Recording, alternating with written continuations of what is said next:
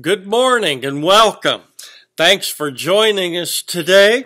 We're so glad that you've tuned in. Let me invite you to turn with me to the book of Hebrews, chapter 9. The book of Hebrews, chapter 9. That's where we're going to find our text this morning in Hebrews, chapter 9. We're in the section of the book of Hebrews that compares the old uh, sacrificial system and the temple with a new covenant that was brought in by Jesus Christ.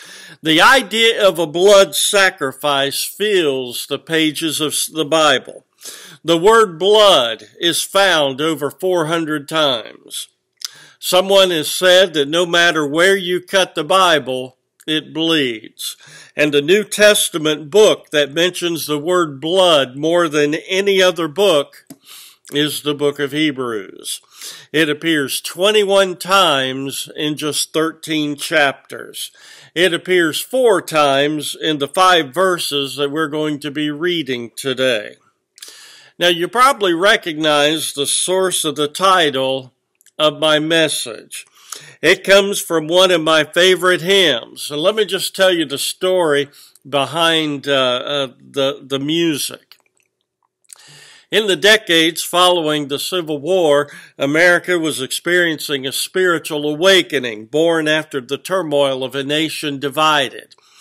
Elisha Hoffman was an evangelical Presbyterian pastor in Ohio who had served as a private in the Union Army.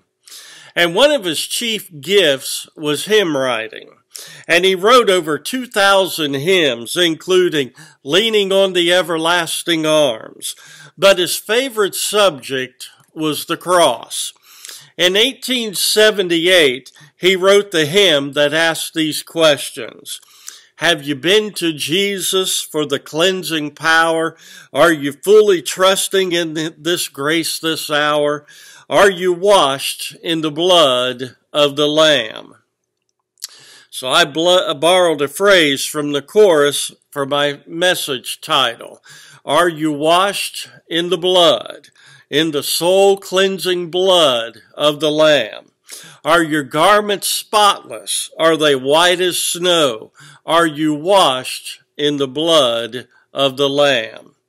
So let's dig into Hebrews chapter 9, verses 11 through 15 this morning to read about the soul cleansing power of the blood of Jesus. Hebrews chapter 9, verse 11.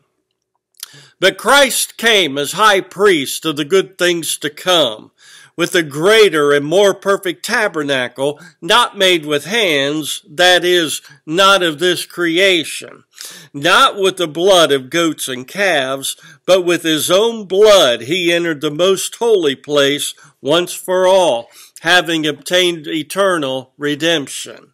For if the blood of bulls and goats and the ashes of a heifer sprinkling the unclean sanctifies for the purifying of the flesh, how much more shall the blood of Christ, who through the eternal Spirit offered himself without spot to God, cleanse your conscience from dead works to serve the living God? And for this reason, he is the mediator of the new covenant by means of death for the redemption of the transgressions under the first covenant, that those who are called may receive the promise of the eternal inheritance. Now, the discussion of the blood of Jesus continues throughout the rest of Hebrews chapter 9. Now, next week, I'm going to preach a special message entitled The Scarlet Thread in the Bible and I'll be tracing the story of blood atonement all the way from Genesis to Revelation. God has always blessed the preaching of the blood of the cross. The year was 1949. A fresh young evangelist named Billy Graham broke onto the scene because of a successful crusade that had been held in Los Angeles. It was scheduled for three weeks and it lasted eight weeks. Thousands of folks were saved, and Billy Graham gained national attention. Not long after that crusade, a professor from Cornell University wrote a letter to Billy Graham. He said, You are gifted and you have a great power of persuasion. But I have some advice. If you expect to be used worldwide, you're going to have to stop talking about the blood. It's out of date, and no enlightened man of the 20th century is going to swallow it. Billy Graham said, I determined at that moment to preach more on the blood of Jesus Christ than ever before. This morning, I want to share with you four aspects of the soul cleansing power of the blood. Here's the first aspect. The blood of Jesus removes the stain of our sin. In our passage that we read, uh, we saw that the old covenant sacrifices only cleansed the priest outwardly. And the Jews have become more concerned with outward cleanliness than inward purity. In Matthew chapter 23, Jesus said to the hyper clean freaks, He said, you clean the outside of the cup and dish, but inside they are full of greed and self-indulgence. Blind Pharisee. First clean the inside of the cup and dish, and then the outside also will be clean. Now, you probably have heard about the sacrifices of bulls and goats, but the idea of the ashes of a red heifer may be new to you. In Numbers chapter 19, God gave the Israelites instructions on how to purify themselves if they had touched a corpse. They were told to take the ashes from a red heifer, which would include the animal fat and the ashes from the wood. Then they were to add water to the fat and the ashes. You know, we read that today and we say, well, wow, God sure gave them some mysterious, weird instructions. But when you think about it, it makes perfect sense. It may sound strange to us today, but does anyone know enough about chemistry to tell me what you get when you mix animal fat, wood ashes, and water? You actually get soap. God was simply saying, do yourself a favor. If you've touched a dead body, use soap and water and you'll be healthier. But even during Old Testament times, God warned them that there's a difference between outward ritualistic purity and inward spiritual purity. God spoke through the prophet Jeremiah. And he said in Jeremiah chapter 2 verse 22, he said, For though you wash yourself with lye and use much soap, yet your iniquity is marked before me, says the Lord God. Now, outward cleanliness, it is important, but we all have a stain of sin that no soap can remove. Compared to the holiness of God, even our good deeds are described as filthy rags. So what must our lives and sinful deeds look like to God? But thankfully, He doesn't cast us aside because we have a dirty heart.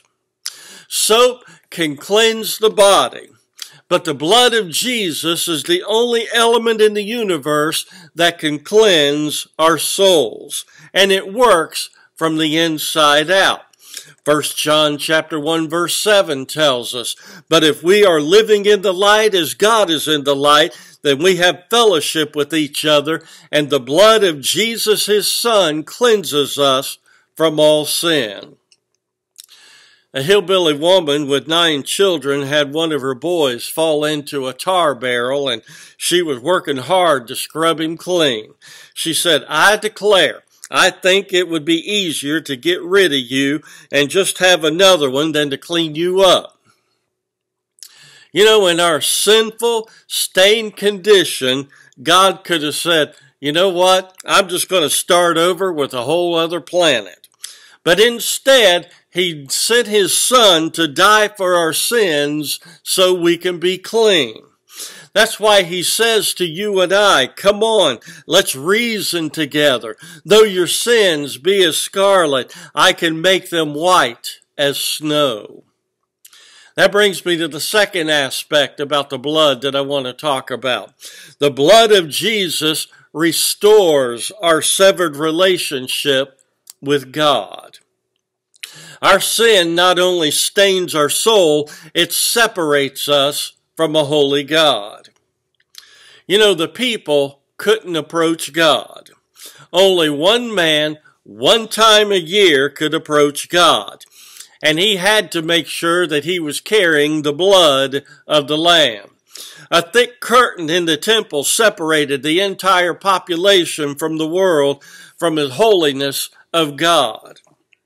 Let's go back to Adam and Eve again.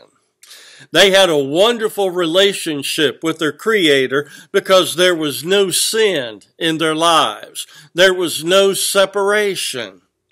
I love that passage from the first chapters of the Bible that says God would come into the Garden of Eden in the cool of the evening and he would walk with Adam and Eve.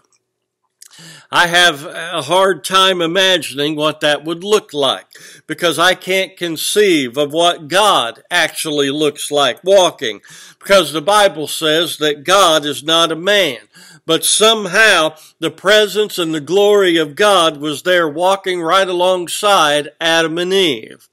Isn't that a beautiful picture of the relationship and fellowship that God had with Adam and Eve? I wonder what they talked about. Maybe God said, Adam, how are you doing? And Adam would say, I'm doing pretty good, Lord. How are you doing? And God says, Well, I'm always doing okay. And then maybe God would ask Eve, How are you doing? And she would say, I'm fine, Lord. And Adam gives me a little trouble every now and then, but nothing that I can't deal with. They had a wonderful relationship, so intimate. But all that changed. When Adam and Eve sinned, that beautiful relationship was destroyed, and they suddenly found themselves separated from God. Well, the New Testament teaches that our sin has alienated us from a holy God. We read in Ephesians chapter 2, verse 12, that at that time you were without Christ, being aliens from the commonwealth of Israel and strangers from the covenants of promise, having no hope and without God in the world. But now, in Christ Jesus, you who were once far off have been brought near by the blood of Christ. When the high priest sprinkled that blood on the mercy seat, their sins were not really forgiven, they were only covered for another year. It would be as if you owed money to a loan shark and you went to him and said, I can't pay the whole amount, but I'll give you a dollar. That's all that I have. And so the loan shark says, well, instead of breaking both your legs, I've got you covered for another year. But the size of your debt just got larger and there's going to be a payday someday. When Jesus died on the cross, that curtain in the temple was torn in two. It was a powerful message from God that there was no longer a separation. We now have access to our Creator through the blood of the cross.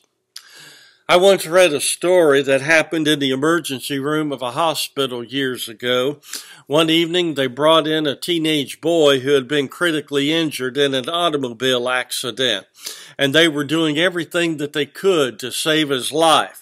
His parents soon arrived at his side, and the boy's parents had been separated for two years, but they hadn't divorced. They hadn't spoke to each other in many months, and the tension in the room was as thick as a knife. But here they were, face to face on each side of the body of their dying son. And the boy was barely conscious and had been in, in, incubated and couldn't talk. And before he lost consciousness, he reached up and he took the hand of his father and he placed it in the hands of his mother. And the boy didn't make it, but from that night onward, the parents were reconciled. but oh, what a high cost of that reconciliation. That's exactly what Jesus did for us. We were alienated from God. And just before he died, Jesus took the hand of his loving Father and he reached down and he took the hand of sinful humanity and he brought us back together. And then he died. When you truly understand the depth of the love of Jesus and the cost that he paid, it's impossible to walk away from that kind of love. That brings me to the third aspect of the blood I want to talk about today. That is, the blood of Jesus ransoms us from our broken past. You know, the last verse in our text says, And for this reason he is the mediator of the new covenant by means of death for the redemption of the transgressions under the first covenant, that those who are called may receive the promise of the eternal inheritance. Perhaps the most famous kidnapping for ransom case in American history happened in 1932. The 20 month old son of Charles Lindbergh was kidnapped and the kidnappers demanded a ransom of $250,000. Well, $50,000 was delivered, but the child was found dead. Four years later, Richard Hauptmann was electrocuted for the crime, but he denied his guilt up until his execution. The Bible teaches that the blood of Jesus was a ransom payment for our sins. We read in 1 Peter chapter 1 verse 18 and 19, For you know that God paid a ransom to save you from the empty life you inherited from your ancestors. And it was not paid with mere gold or silver, which lose their value. It was the precious blood of Christ, the sinless, spotless Lamb of God. Jesus paid a ransom but to whom did he pay it? You know, some folks suggest the devil was paid off at the cross, but nothing could be farther from the truth. Jesus didn't owe the devil a dime. All the sacrifices were made to God alone. Remember when I said that the sin of the Israelites kept piling up, just collecting interest? There had to be a payday someday, and that happened on the cross. God demands a perfect sacrifice, a lamb without spot or blemish, and none of us qualify. But Jesus became sin for us. Gordon MacDonald is a former pastor and chancellor of Denver Seminary. He relates an interesting dream that he once had. In the dream, he was at a party with a bunch of strangers, but everyone had a name tag. And he looked in the mirror and his says, Hello, my name is Gordon. And underneath it, his name, it said adulterer. Another man had a name tag that said, Hello, my name is John, liar. Another said, Hello, my name is Jane, gossip. Another one said, Hello, my name is Mary, alcoholic. The room was packed with people, all wearing name tags, naming one of their sins. Then in his dream, Jesus walked into the room, and without saying a word, he walked around and he started pulling off the name tags of people and putting them on his own robe. He did this until he was covered in name tags. And that's what Jesus did on the cross. He became sin for us. So we don't have to live according to our broken, sinful past. But one of the tools the devil uses is that he wants to make you feel guilty about the sins of your past that have been forgiven. Some of you are on a lifelong guilt trip, and that's one trip that you ought to cancel. Too many Christians lose their joy and effectiveness because they spend all their time looking in the rearview mirror, regretting all their past mistakes. The reason that the rear view mirror is so small and the windshield in front is so large is because where you've been isn't nearly as important as where you're going. That brings me to aspect number four of the blood. The blood of Jesus rescues us from a hopeless future. You know, the blood of Jesus has the power to cleanse us from sin. It restores our severed relationship with God. It ransoms us from our broken past. Those are all things that are present blessings. They're true today. But there's a future aspect of the power of the blood. Every person without Christ faces a hopeless future. But for those of us who have been saved by the blood of the Lamb, our future is filled with hope. We read in Romans chapter 5 verse 9, and since we have been made right in God's sight by the blood of Christ, he will certainly save us from God's condemnation. There was a terrible night in Egypt many centuries ago. God had told the people to kill a lamb and to roast it. Then they were to take the blood of that lamb and to rub it on the sides and the top of the doors of their homes. And then the family was supposed to go inside under the blood and eat the lamb. It was an act of faith and obedience. That evening, a terrible judgment passed over the entire land. But whenever the death angel saw the blood applied to the doorway, he passed over those homes. For those families who obeyed and trusted God, they were safe under the blood of the Lamb. But for those families who didn't follow God's simple instruction, there was death in that home. That was God's way of teaching us that one day every one of us will face his judgment. When God sees the blood of the Lamb, Jesus Christ applied to your heart, judgment will pass over you. So what are some of the personal applications that we can take from these four truths today? Here's the first application. The blood of Jesus is a powerful weapon against the enemy. You know, Satan hates the blood of Jesus. And as the song says, there is power, power, wonder working power in the precious blood of the Lamb. One of the greatest scenes in the entire book of Revelation comes in chapter 12, where we see the saints of God the church of God in battle against the false man-made religion of paganism. We read in Revelation chapter 12 verse 11, and they overcame him by the blood of the Lamb and by the word of their testimony, and they did not love their lives to the death. See, that's the way we overcome the enemy as well. When he comes tempting, and attacking. Remind him that you have been made clean by the blood of the Lamb. The second application I want to share with us is because God has covered your sins with his blood, then you should forgive yourself.